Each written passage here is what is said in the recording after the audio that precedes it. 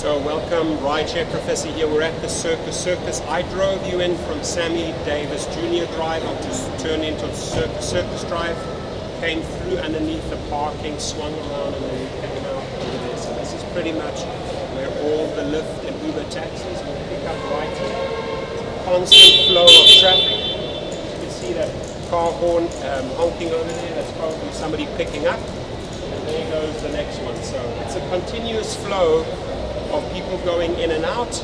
And if you have any further questions how to handle it, literally, the hotel is literally on the strip, but you have to come down Sammy Davis Jr. It's the easiest way. And again, you turn into Circus Circus Drive and just follow the valet and parking uh, area for the hotel, the hotel registration signs. Just follow that. We drove you through that. You come out right here.